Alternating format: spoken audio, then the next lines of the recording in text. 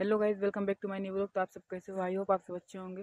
तो गाइस मैं आज तो कहीं जाने वाला था वीडियो बनाने के लिए जाने वाले थे लेकिन गया नहीं। आ, थोड़ा प्लान कैंसिल हो गया। तो गाइस आज की वीडियो में कुछ दिखाने वाला तो नहीं हूँ कुछ बताने वाला हूँ। तो गाइस मैं बता दूँ कि हम लोग का बोले तो कल से पेपर है हाफ़ ईयरली वाला पेपर तो मैं अभी कल से ब्लॉग मतलब नहीं डाल पाऊँगा लेकिन अगर बनाऊँगा तो डाल दूँगा ऐसा नहीं है।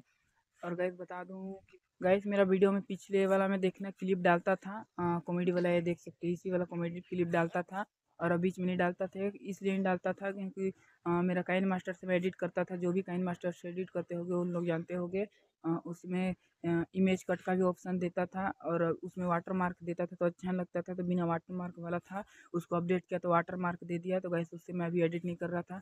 वीएन से कर रहा था तो वी से रोटेट करने के लिए नहीं देता था, जैसे कि अभी मेरा फ़ोन इस टाइप में है, अगर इस टाइप में कर दूँ तो नहीं देता था, हाफ़, साइड का वीडियो काट देता था, इसीलिए मैं उससे नहीं करता था वीएन से। एक भी यूट्यूब वालों ने लॉन्च किया है वाई टी क्रिएटर के नाम से। वो अच्छा वो ऐप भी अच्छा है, लेकिन उसमें मेरे को अच्छा ही नहीं लगता था उसमें इमेज कट का ऑप्शन नहीं दिया था और कुछ कुछ का ऑप्शन नहीं दिया था, इसलिए उसमें भी मैं अभी एडिट नहीं करता हूँ। अगर यूट्यूब वालों मेरा ये वीडियो देख रहे हो तो मेरे तरफ़ से रिक्वेस्ट है कि वाई टी क्रिएटर ऐप को कुछ थोड़ा अच्छा वर्जन उसमें लाओ, क्योंकि मेरे को मतलब सब ठीक ठाक लग रहा है, बस इमेज कट वगैरह कुछ कुछ नहीं है।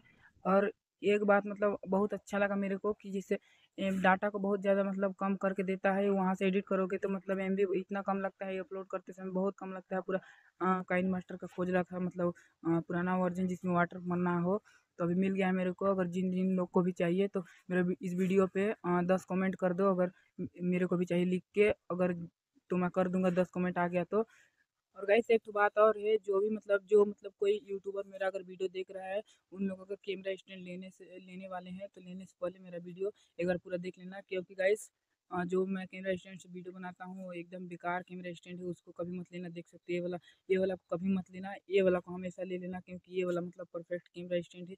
जो मैं लूँगा उसको बता दूँ क्या क्या होता है। गाइस, इस कैमरा स्टैंड में देख सकते हैं, यहाँ पर काफ़ी ढीला हो जाता है मतलब इधर उधर होते रहता है। अभी इसको टाइट कर हूँ, इसमें नट दिया इसको तो ठीक है, पर इसका ब्लूटूथ का भी मतलब ये बटन काम नहीं कर रहा है, इसमें मतलब शायद नया बैटरी लगवाना पड़ेगा, इसके अंदर बैटरी रहता है। और ये जो रोड निकला है ना एकदम कमज़ोर वाला रोड है, क्योंकि इसमें अगर पूरा लंबा खोल के बनाओ वीडियो तो अगर इधर से कुछ मतलब वज़न पड़ेगा तो ये मतलब टूट सकता है इसका कैमरा स्टैंड है। बिल्कुल इसे मत लेना लेना तो इस साइड वाला को लेना है, ये वाला मतलब परफेक्ट कैमरा स्टैंड ब्लॉगर के लिए। और हर चीज़ में मतलब बन जाता है कैमरा भी। और इसमें मतलब मोबाइल लगाता हूँ तो होता है, लेकिन यहाँ पर ढीला और रोड भी मतलब बेकार कैमरा स्टैंड है। मेरे को भी अफसोस लग रहा है कि इसको फालतू ले लिया। लेकिन करूँ क्या अब तो कोई चांस है नहीं कि रिटर्न करूँ इसको।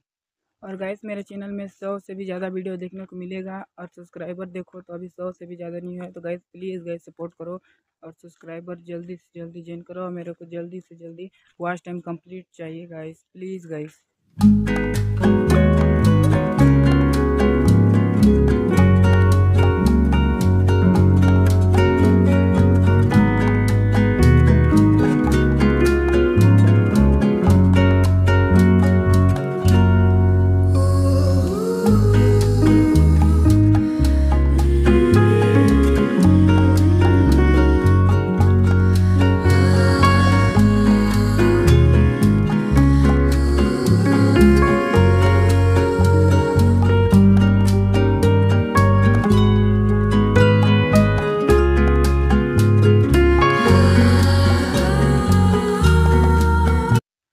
गाइस आज की वीडियो में तक फिर मिलते हैं नेक्स्ट वीडियो में। बाय